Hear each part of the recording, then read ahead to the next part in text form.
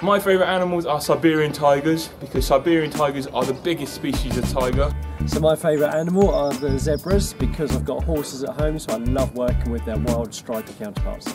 My favourite animals are Javan gibbons because they make really cool noises. Ooh. This is a rusty, rusty spotted cat. It's the world's smallest species of cat and it's my favourite because they've got an absolutely amazing attitude for something so small if they were as big as a tiger, would be in serious trouble.